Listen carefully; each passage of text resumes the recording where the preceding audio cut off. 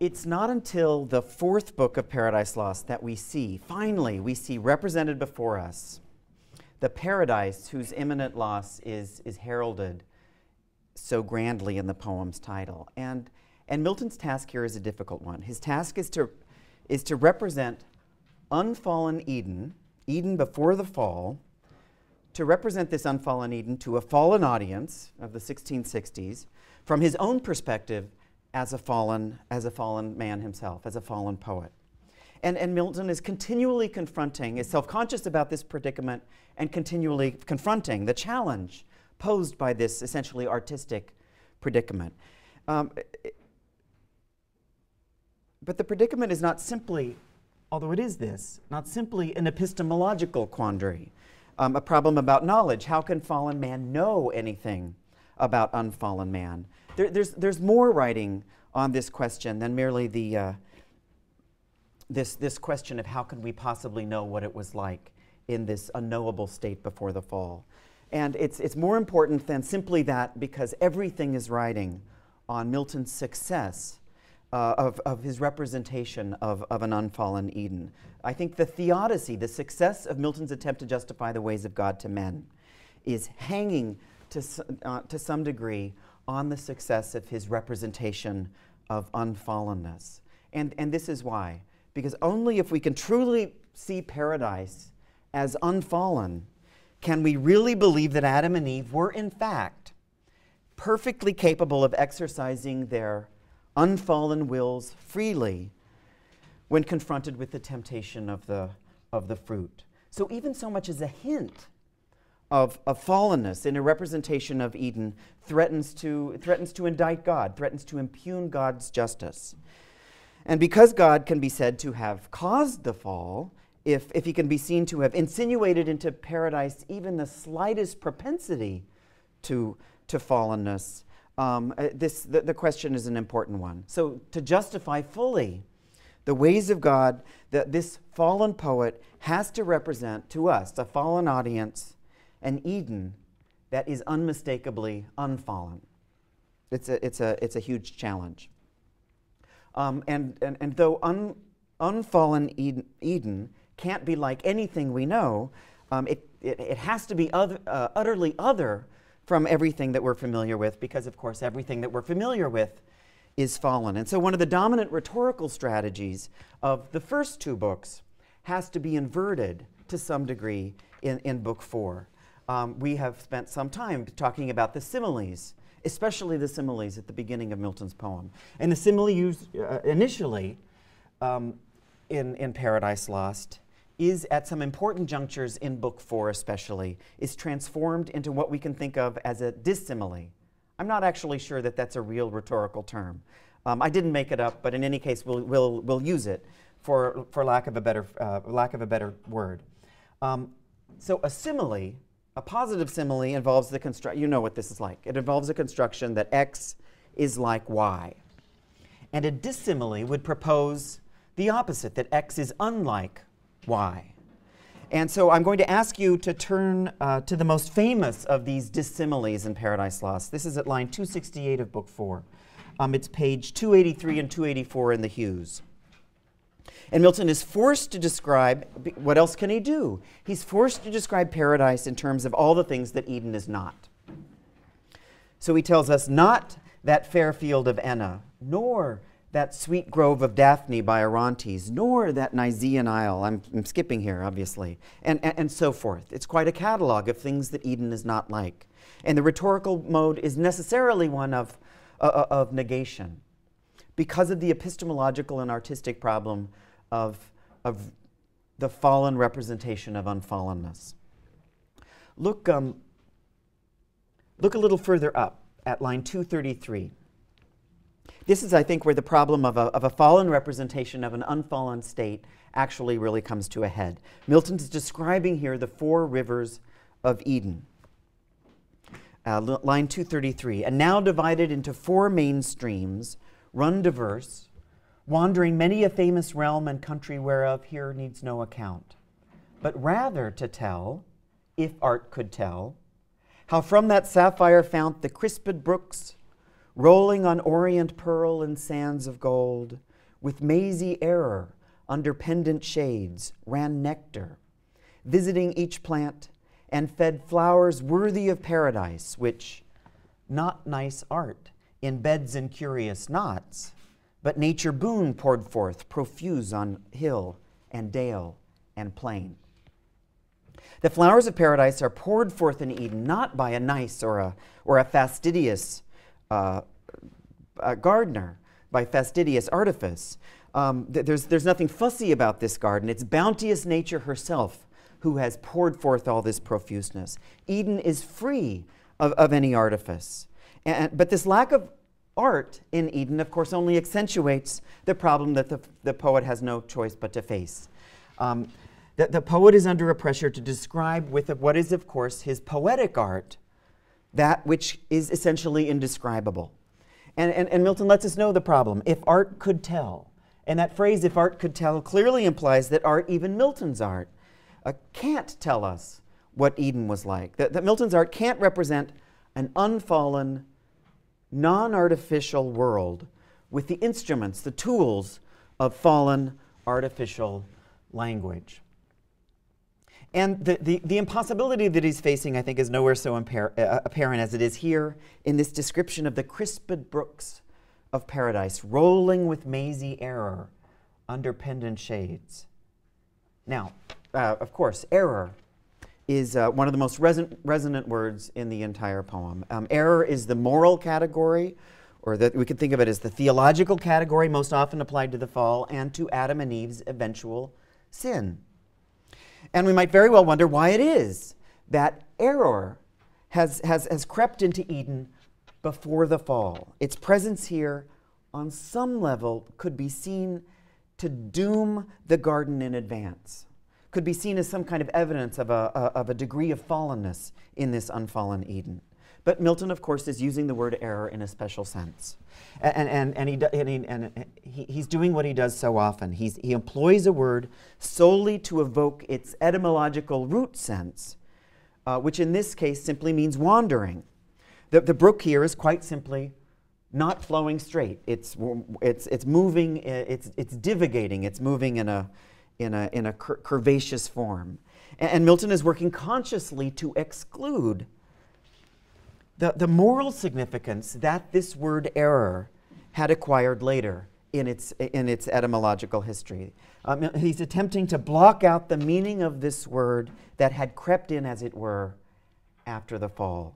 Um, there's actually a, a, wonderful book that looks uh, brilliantly at just this phenomenon. It's called Milton's Grand Style um, by, by the great critic Christopher Ricks. Um, and, and, and, and in that book, Ricks argues for the, the self consciousness behind Milton's employment of the original etymological sense of some of the most loaded words in the, in the poem. And so Milton will remind us of the fall with his use of such a word as, as error.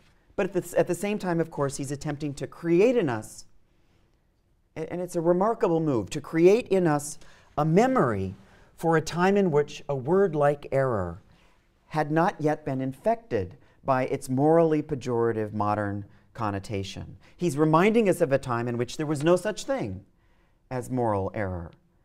Not that we can be reminded, because of course we can't remember, we weren't around, but it's as if uh, a memory is being um, instilled in us by means of Milton's poetry. Um, he, he condenses into a single word what is essentially the entire poetic problem besetting the description of uh, of unfallen Eden. Milton, too, manages, with a word like this, to remind us that we're only seeing the garden after Satan has overleaped its boundaries and, is in, has begun sneaking around.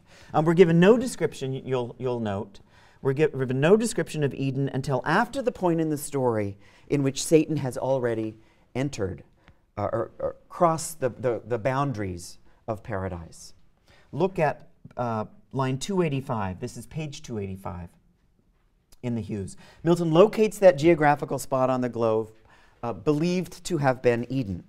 But he does that only to remind us that everything that we're seeing is precisely what Satan is seeing, um, where the fiend saw undelighted all delight, all kind of creatures new to sight and strange. And Satan's presence is, is important here because he reminds us that we too, um, are, we're, in a, we're in a position of seeing undelighted all delight. We share his pained alienation um, of, from, the, from the innocence of the garden.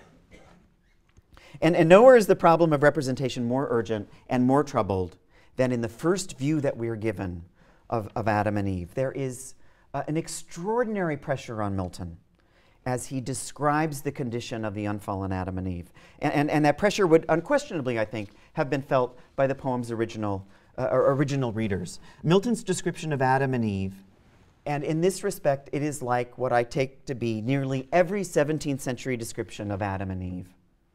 It's, it, it is necessarily a political statement. It's an account of a first, it's the account of the first society. And as an account of the first society, Milton's Eden has to establish something like the ideal against which all current, all fallen societies have to be judged. Um, so, in the 17th century, a, a, description of man and the state of nature before the onset of any kind of civil government was an essential component, component of about, just about any political philosophy. You couldn't, you couldn't forward a political vision without forwarding at the same time an image of a society before the onset of government.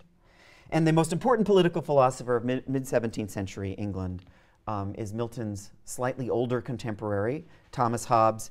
And he had founded his vision of politics, which was uh, a decidedly authoritarian vision of politics, on just such an account of a nearly unrecoverable, un- unrememberable past.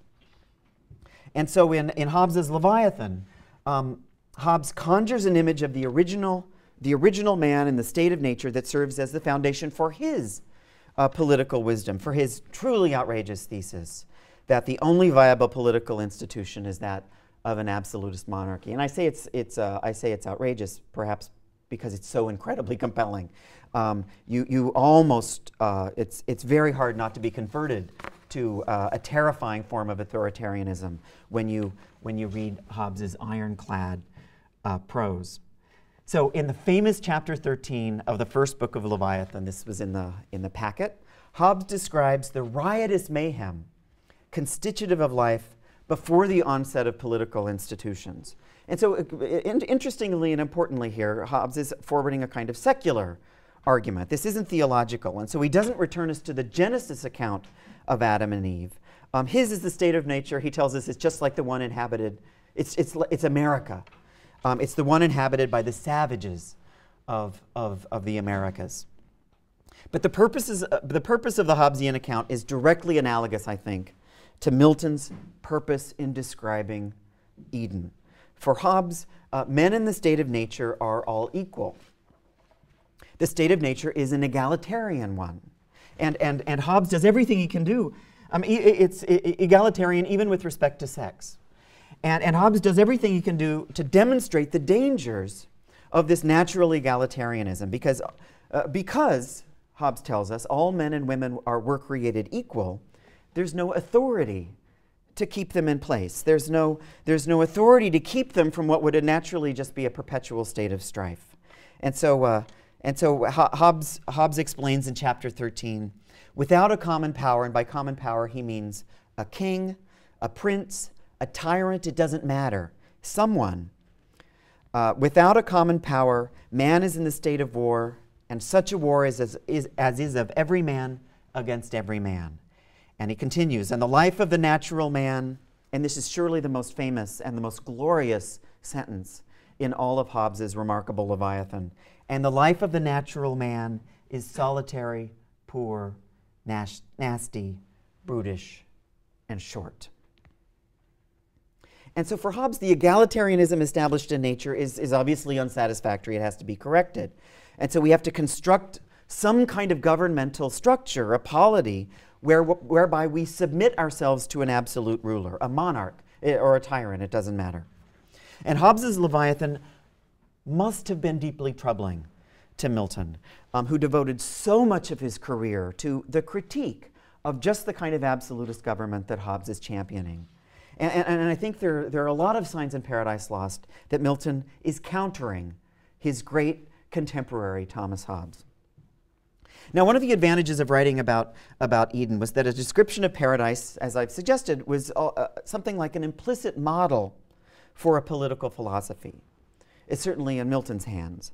And so Hobbes had used his description of the, the state of men in the state of nature to forward his, his authoritarianism. And, and so Milton has to use his description of the first couple to forward his cause, which is essentially that of republicanism or some kind of non monarchic government. And Adam and Eve have to form, they have to be able to form a successful society alone, a successful polity on their own, without the dictatorial intervention of any sovereign power. This is crucial for, for, for what Milton needs to be able to argue politically. So, what exactly are Milton's politics? It's been a while since we've visited this topic. Um, we, we, haven't, we haven't really discussed Milton's politics since we looked at the 1644 Areopagitica. And a lot, I'm sad to say, has changed since then. In Areopagitica, we saw Milton affirm what was essentially the general equality of all human beings. Uh, this was an implicit argument that all individuals have been endowed by God with reason and that they are all equally capable of choosing and reasoning for themselves. But in the 1650s, Milton had grown considerably less optimistic um, in his sense of the equality of, of all men and women. The average individual in England, uh, for Milton at this point, didn't in fact seem to be endowed with quite as much reason and capacity for rational choice as Milton felt that he was capable of or, or as Milton felt that he and his fellow Puritan revolutionaries um, were, were capable of. So many of Milton's backsliding countrymen wanted their king back.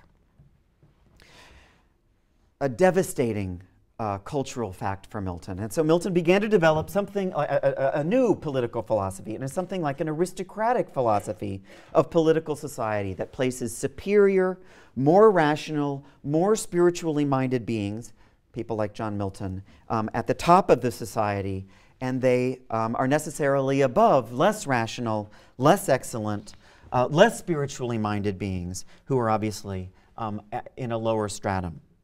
And so Milton Milton's later political philosophy sketches something like an almost a natural hierarchy in which the rational elite are in a position to guide and to, uh, to offer some sort of authoritative wisdom to uh, the, the less rational members of the society. And these less rational members, ideally, willingly, willingly yield to the superior wisdom and the reason of the rational elite. It would, and it seems to be this later vision of a kind of naturally hierarchical society that forms the basis for the first polity, which is that of Adam and Eve in Milton's Eden.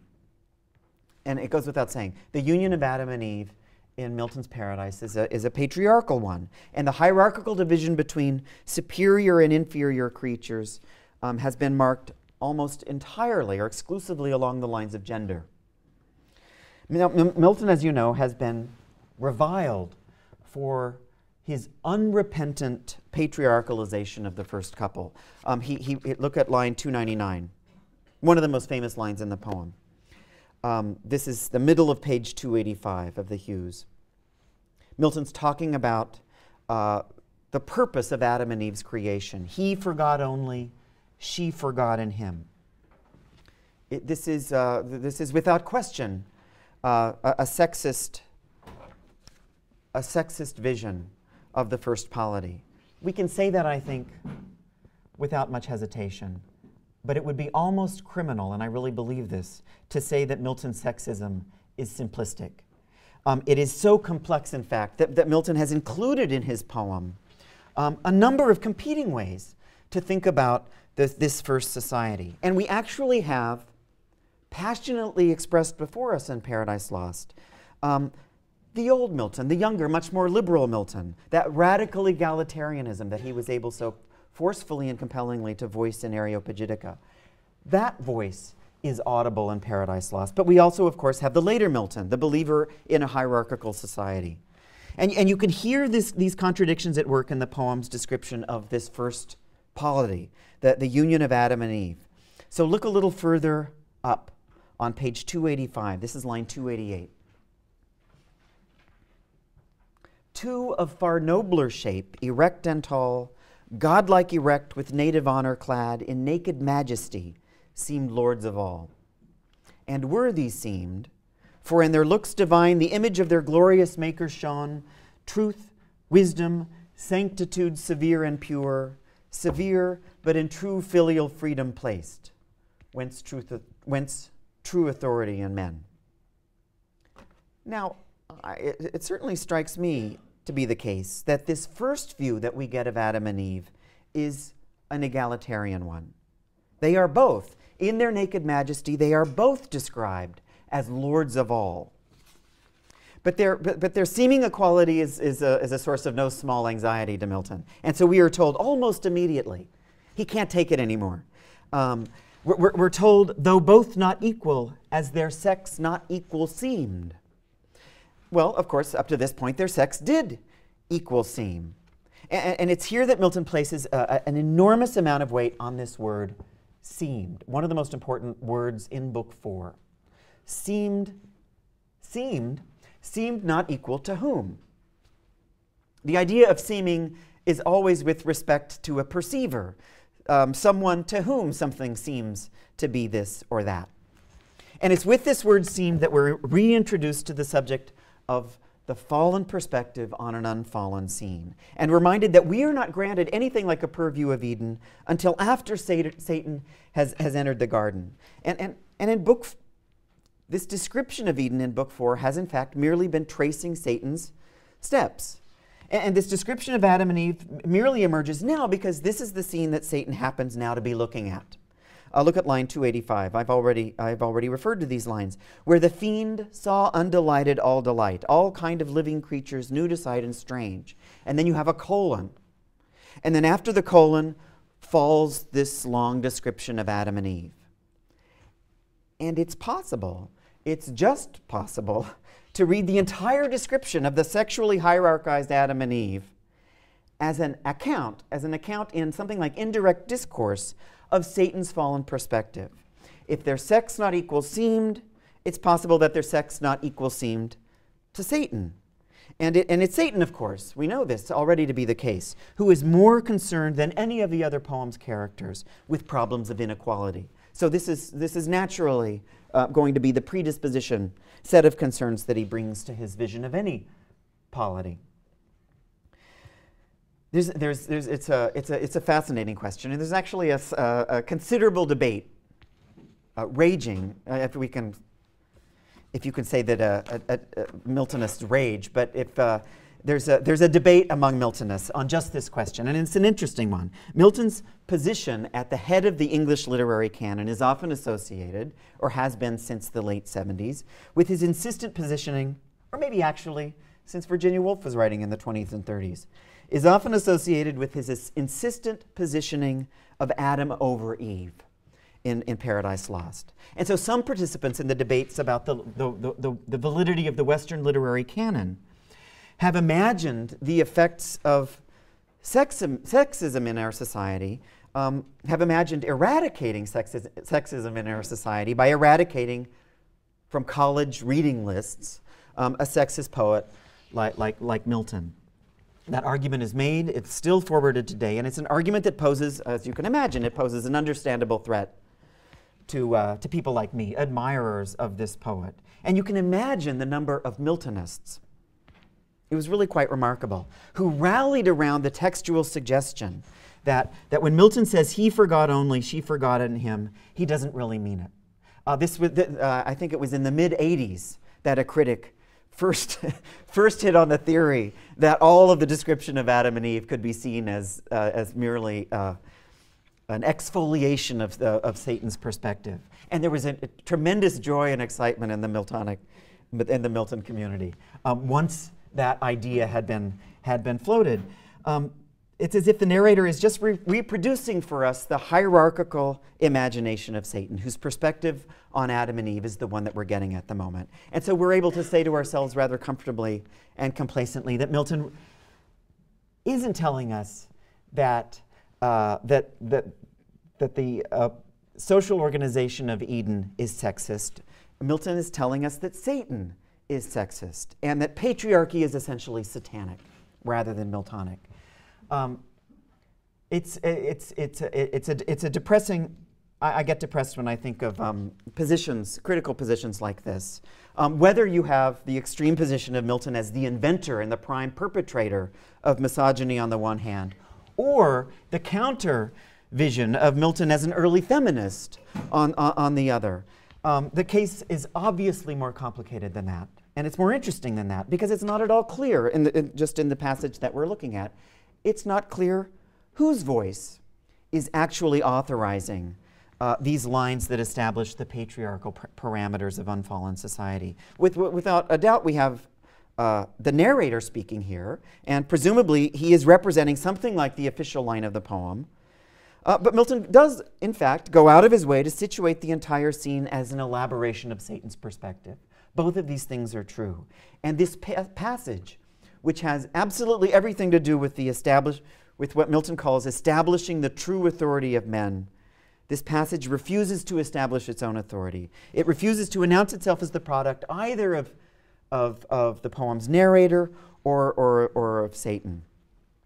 And, and, and this it's a, it's, a, it's a moment of textual instability, and it reflects the larger, I think it re reflects the larger political instability that is threatening Eden, threatening the relationship, the relation between Adam and Eve.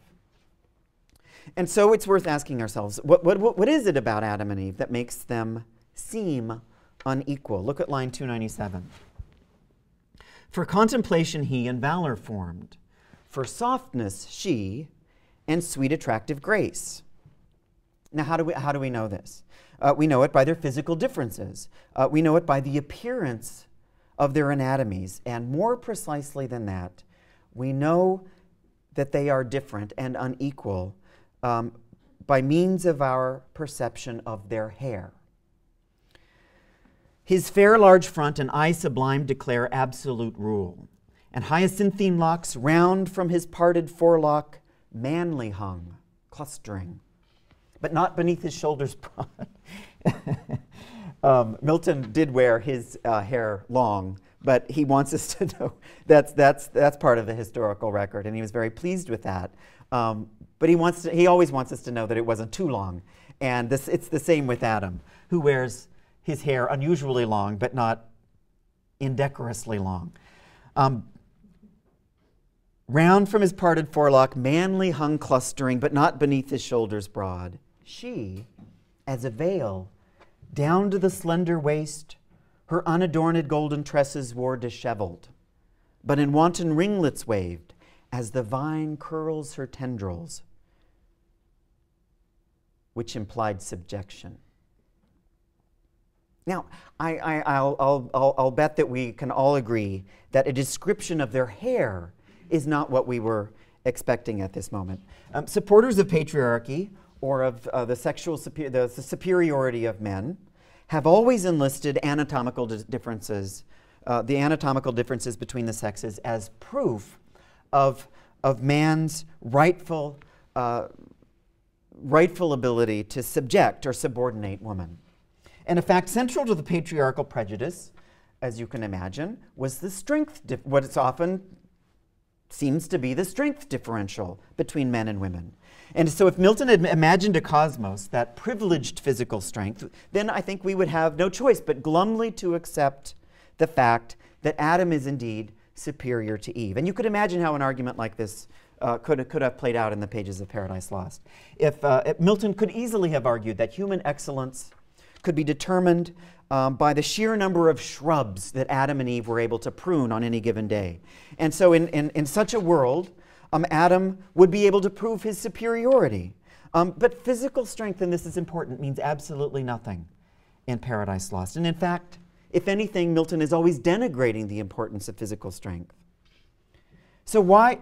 Okay, given that, we still have to ask the question why try to argue for the inequality of the sexes on the basis of hair length? Um, you, I, I, presume that none of you um, have had children, but you probably still know nonetheless that men and women or boys and girls are not born with distinct or distinguishable heads of hair. Um, at least until male pattern baldness sets in, um, uh, uh the, the, the, the, hair of men and women aren't distinct or distinguishable. And if anything, male pattern baldness simply gives women an edge. And if Milton wanted to use hair as a natural sign of sexual difference, he should be discussing, I would think, he should be discussing facial hair. Adam's superiority um, presumably could be evinced by his commanding beard. We could imagine Milton doing that, something that Eve lacks by virtue of her anatomy. But the hair on the head, this doesn't make any sense. The hair on the head is, in fact, one of the few anatomical features that is absolutely gender neutral. Our hair is gendered by virtue of the barber, not by virtue of the creator. Which brings us to this fact, um, which we all know the obvious, which is what every obstetrician knows. The obvious distinguishing anatomical characteristic is genitalia. Um, and, and Milton actually does mention Adam and Eve's mysterious parts, but, but he mentions them only to, to dis, dismiss their difference. Um, he may be gesturing towards something like, you'll tell me if this is crazy, uh, something like a genital difference when he describes Adam's hair, his locks manly hung, clustering. I, I, I'm, I'm, I, don't, I, don't think that, I don't think that holds. The, the sexual signifier that hangs manly off of Adam's body, and that signifier, which has traditionally, of course, been invoked as a sign of sexual superiority, is Adam's penis. But Milton alludes to this genital signifier of difference, their mysterious parts, only to dismiss it. He chooses instead, for the distinguishing characteristic of the sexes, a phenomenon that's rooted not in nature but in culture hair length. Like, like Hobbes, Milton is under a, a tremendous cultural pressure in, when he describes the earliest state of nature. Um, the, the description of nature has to bear the weight of all of the social and all of the political claims that the poem makes. And, and the set of social conditions that, that Milton has to justify and make seem natural is, is a particularly tricky one. Both Eve and Adam have to be seen as absolutely free. Each of them has to be capable of exercising reason and making uh, reasonable, rational decisions. And, and in this sense, Adam, enjoy, Adam and Eve enjoy something like the absolutely egalitarian world, the structure of the political world that we had seen in the, a treatise like Areopagitica, Milton at his most exuberantly liberal.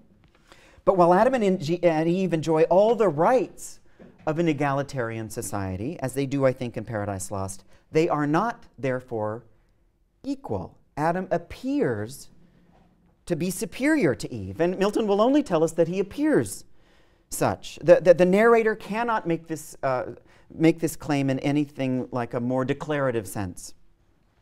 And so, on the basis of at least, uh, at least of their appearances, the social formation in Eden is strictly hierarchical. A- and on some extraordinary level, this poem is trying to have it both ways. And, and so much of the energy of the account of paradise derives from Milton's contradictory account of the political structure of Eden. He applies to the Edenic society of Adam and Eve what I take to be two irreconcilable modes of social governance. Eden is once egalitarian. Its inhabitants are, are entire, they're na in naked majesty, they're lords of all, both of them. Uh, Adam and Eve are entirely free and self determining. But at the same time, Eden is structured as a, as a kind of aristocracy, where the male class is deemed categorically, genetically superior to the female class. And without, it goes without saying that the situation is untenable. The contradictory social formation of paradise is inherently unstable. And I'm convinced that nothing is more important in our understanding of the dynamics of the fall than, this, than these principles. The principle that Eve is absolutely free and equally rational, equally capable of rational and virtuous choices, but also the conflicting principle that Eve is to some extent subject to Adam's, uh, Adam's authority. And the contradictory political impulses in the poem are, are, are, brilliantly worked out in the first description of Adam and Eve. Look at, look at line 307. This is unbelievable. Um, look at what Milton is able to establish by way of a description of Eve's hair. It's here, in a representation of her hair, that the nature of the Edenic polity is established. So Eve's golden tresses waved as the vine curls her tendrils, which implied subjection. But required with gentle sway, and by her yielded, by him best received, yielded with coy submission, modest pride. And isn't this a beautiful line? And sweet, reluctant, amorous delay. The, the conflicting politics of Eden are, are, are, best captured in the, in the, in, in the, in, by means of the rhetorical strategy of oxymoron or the, or the contradiction in terms.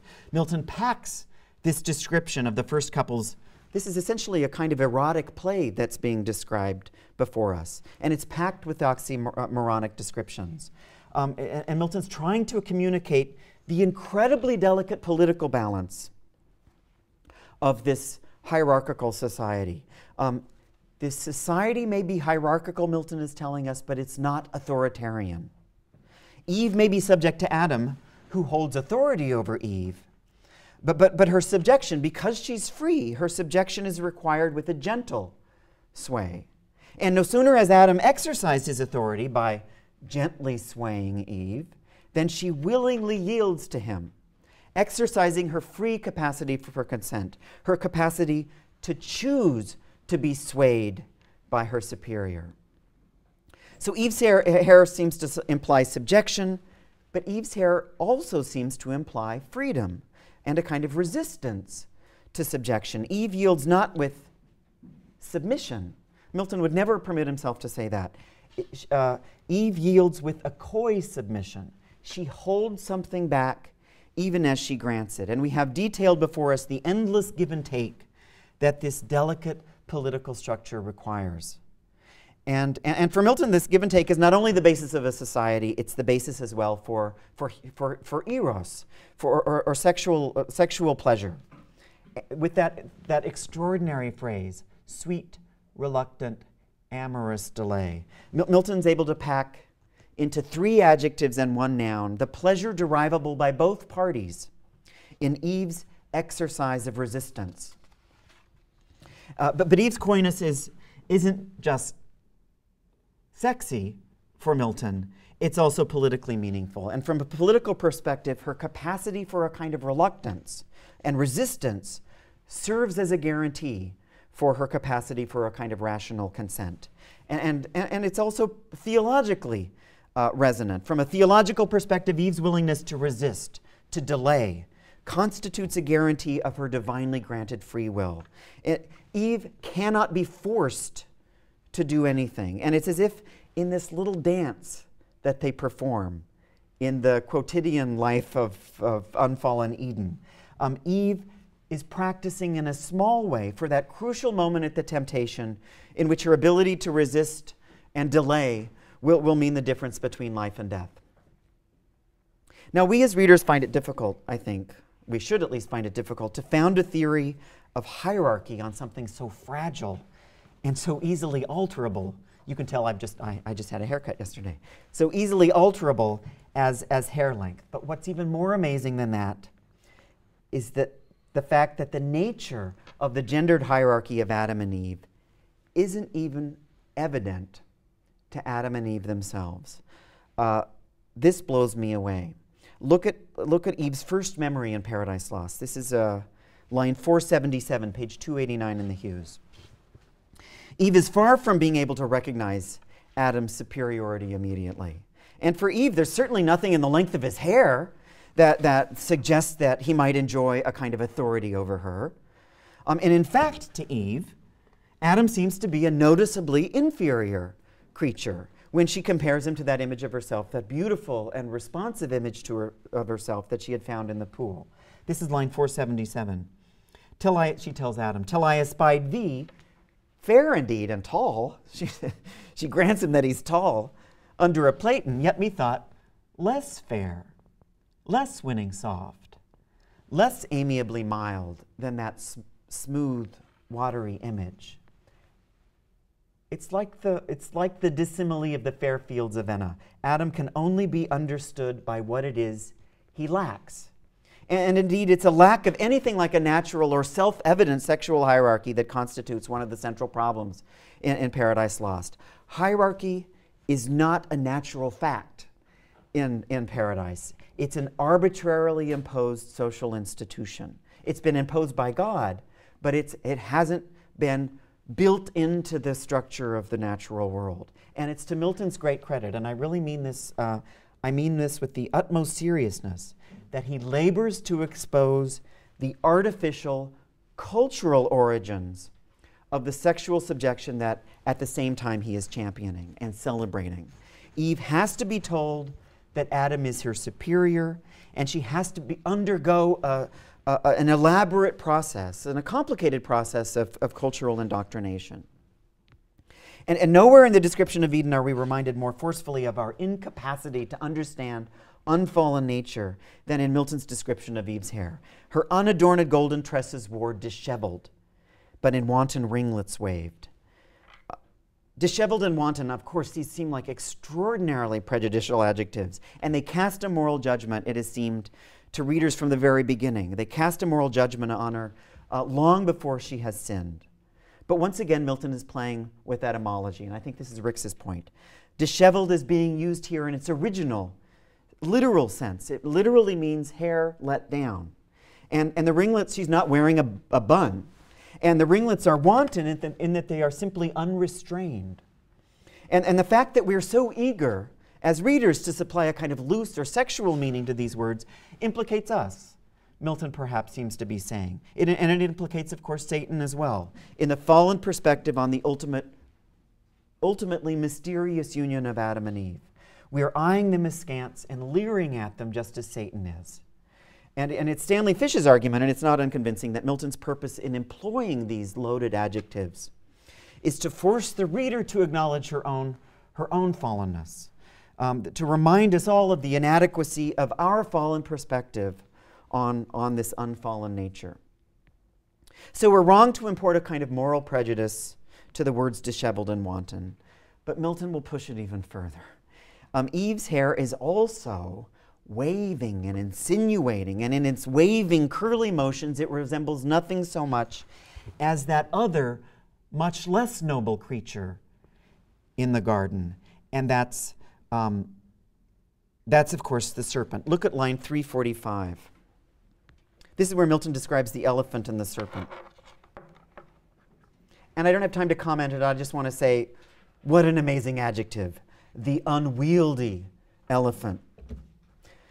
The unwieldy elephant, to make them mirth, used all his might and wreathed his, his lithe proboscis. Close, the serpent sly, insinuating, wove with Gordian twine his braided train. The braided train of the serpent's waving motion resembles nothing so much as the waving braids of Eve's hair. And Eve seems to be associated well in advance of the actual temptation with the sly insinuations of the serpent, an association that, of course, can only damage any sense that we have of her unfallen reason and her, her genuine free will. But Milton carefully includes in this description another example of a waving and insinuating motion in Eden, and that's the elephant's proboscis. He's prefaced his connection between Eve and Satan here. Um, with the, with, the, with, the, with the inclusion of the elephant. He wants us to know, with this image of the elephant's light proboscis, that the motion of waving and weaving and wreathing and insinuating are still, in fact, entirely innocent. And it will be only be Satan's subsequent actions that infect them retro, retroactively, infect them for us. And, and the problem being exposed once again is the problem of representation. How can you represent an unfallen state from a fallen perspective. Okay, um, look at your the handout. And if you don't have a handout, um, try to get one from the corners of the room. Uh, at this, this representation of Adam and Eve was made in 1638. Um, so this is this Rembrandt uh, did this drawing uh, shortly before Milton was beginning to think of Paradise Lost. And in the Rembrandt representation, we have, I think, a, this is a devastating critique of the 17th century desire to represent an unfallen paradise, what we have Milton trying to do. Like Milton, uh, Rembrandt exposes the impossibility, I think, of, of such a representation. Uh, if we read the book of Genesis, we know that, that Eve was alone with the serpent. And so we're seeing Adam and Eve in this picture, presumably after Eve has eaten the fruit, but before Adam had eaten it. Now, Adam may not have eaten the fruit, but he certainly, I mean, look at, look at this. He certainly looks as fallen as Eve. They're, they are equally physically ugly, it seems to me, and that's indisputable. Uh, nasty, brutish, and short. It's as if they've crawled out of the pages of the famous 13th chapter of the first book of Hobbes's Leviathan.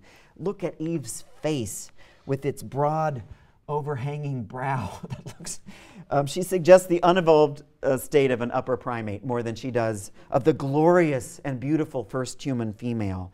And look at Adam. The, the, the, presumably unfallen Adam here is writhing in a twisted and guilty posture that gives him no moral superiority, superiority over Eve whatsoever.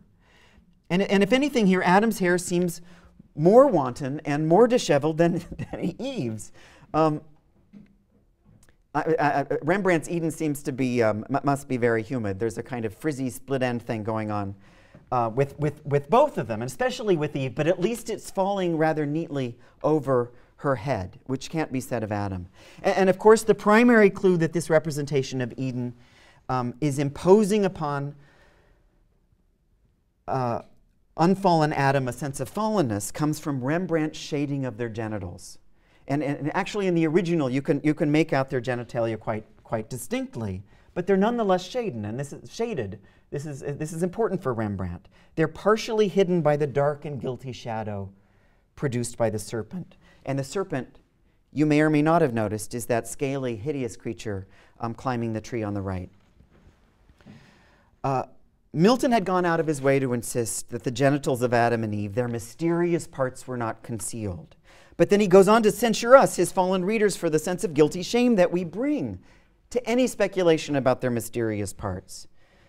But Rembrandt is, it's as if Rembrandt's a step ahead of Milton. He's telling us that there can be no such thing as a just representation of unfallen nudity. Our, our darkened minds will continually shade that nudity with the, with the inescapable shadows of guilt and shame that we have no choice but to bring to questions of sexuality. Rembrandt joins Milton in representing a scene that seems to lie somewhere. Both the Eden of Rembrandt and the Eden of Milton seem to lie somewhere between a fallen and an unfallen state. And I think a lot of the energy of the Rembrandt drawing derives from his refusal to depict the, the moral superiority of one sex over the other. There, there's, there, there's no clear demarcation here of a sexual hierarchy or a natural sexual hierarchy.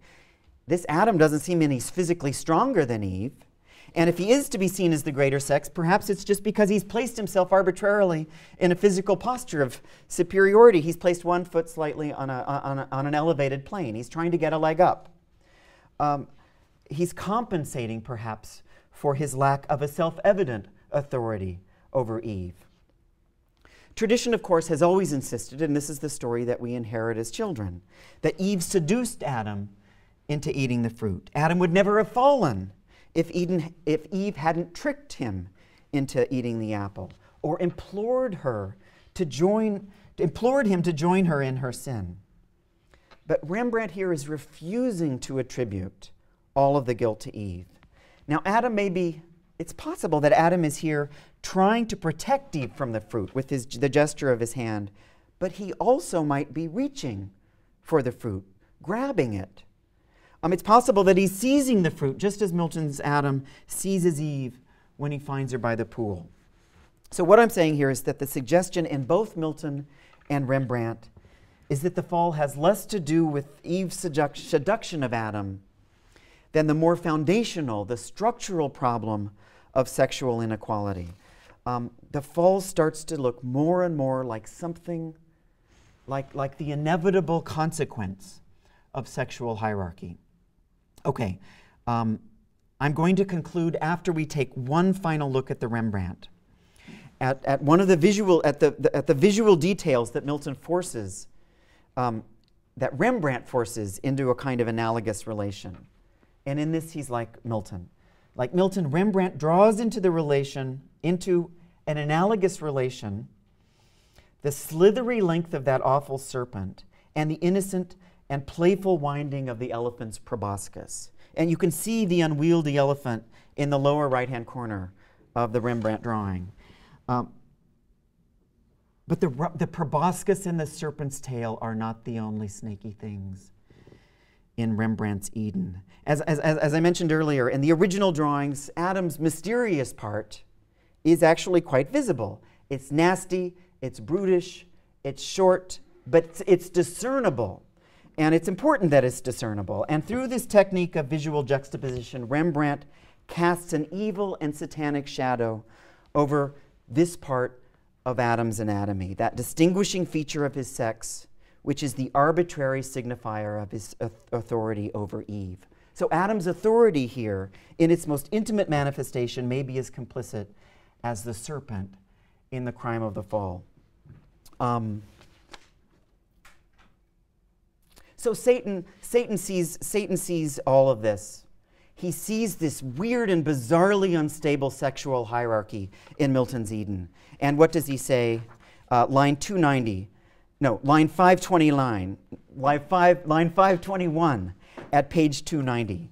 Um, Milton has Satan announce that he has Eureka!